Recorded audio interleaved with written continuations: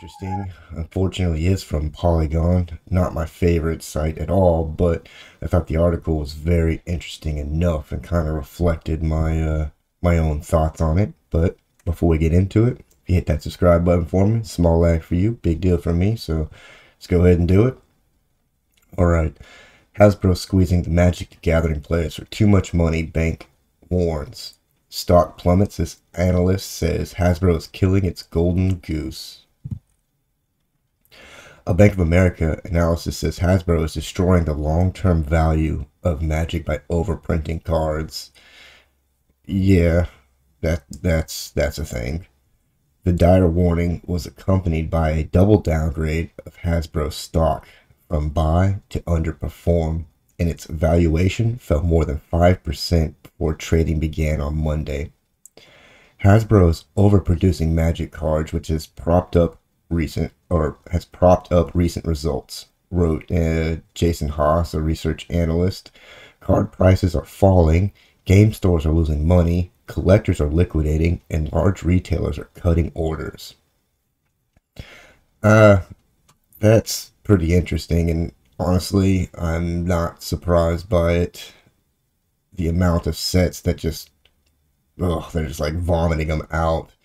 And I guess as long as people are still gonna buy them, I guess it won't stop. You know, seems like they're kind of, I don't know. Doesn't to me. It doesn't seem like they're trying to reach a new audience or bring in new players. It just seems like they're trying to just you know squeeze all the money out of people that you know still play Magic, kind of like you know mobile games and stuff. They just focus on you know the whales and they don't really care about trying to get new people. But let's read on. Hasbro has recently touted the performance of its Wizards of the Coast business unit, which includes Magic as well as Dungeons and Dragons tabletop role-playing game. Haas notes that Magic alone accounts for some 15% of Hasbro's annual revenue and some 35% of its annual rev earnings. Sales of the collectible card game nearly doubled over the pandemic, and Hasbro has urged that growth onward with additional new releases throughout 2021 and 2022. Yeah, the uh, pandemic has, you know, obviously it was going to boost sales of certain things like this, but to kind of believe that you can maintain that same sale, that's just a little ludicrous, but I guess that's to be expected from Wizards, but Haas believes that the end of that growth curve is looming on the horizon, in part because Magic has grown primarily by extracting more revenue from each player rather than growing its player base. Yeah, that's pretty much it, what I was thinking. In this little graph here, it shows the dates and the different kind of sets that have been coming out. And as you see towards the end over here, you know, 2020 to 2022, it's just phenomenally higher. It's ridiculously high. Trying to squeeze that money out, but you know, I guess I can't be too surprised. But jeez, that's like double. Oh, ugly, ugly, ugly. For individual retailers, the effect can be seen on store shelves. The increased supply has crashed secondary market prices, which has caused distributors, collectors, and loyal game stores to lose money on Magic. As a result, we expect they'll order less product in future releases. I mean, that'd be kind of par for course. I mean, why spend a whole ton of money on some shit you're not going to be able to get rid of anyway? But Haas also called out the Magic 30th anniversary set as particularly egregious. These thousand dollar bundles, god damn, include just four packs of cards which are normally priced at five bucks each. Jesus. What kind of morons pay for that shit? Okay. But these special collector's packs include reprints of highly sought after cards such as Black Lotus. Well, See, that's the thing I don't get. If you just if you add more of the you know sought after card, wouldn't that eventually just lower the price and make it not really? I don't know. Whatever. While technically unplayable in some of the game's most competitive formats, this reintroduction still breaks a vow made to fans decades ago. Not only is the price excessively high, but the set also includes reserved list cards, which Hasbro has promised to never reprint. This has created panic among collectors, and we're seeing collections being liquidated now that the scarcity value of Magic is in question. Yeah, see, that's what I was kind of thinking too.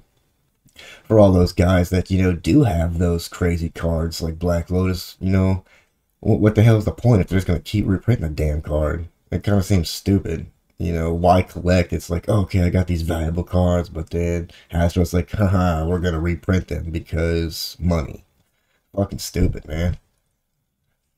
Haas concludes that Hasbro needs to cut its print runs going forward in order to allow more of its older product to sell through.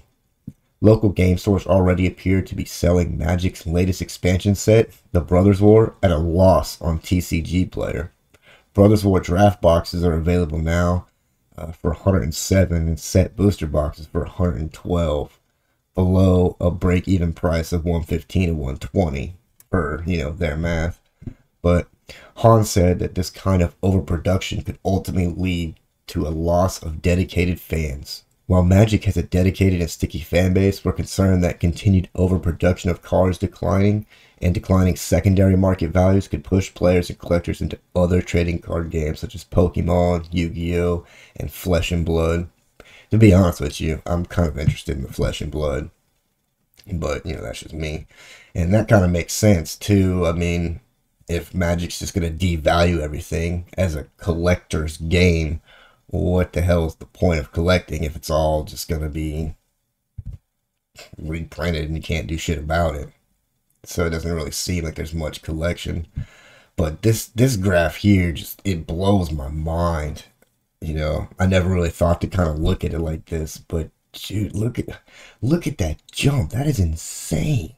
You got to be kidding me. What were they thinking besides money, money, money, money? But God damn. If you guys have been keeping up on the box sets in the collection too, let me know how that's been going. Because, jeez, I'm so glad that I've been out of the physical collection for a long time.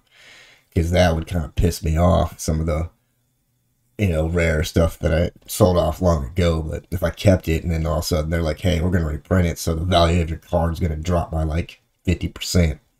I'd be kind of pissed off, to be honest. So if this has affected you, let me know. I'm very curious. I mean, I'd kind of like to talk about this in the comments section with you guys. So let me know your thoughts on it.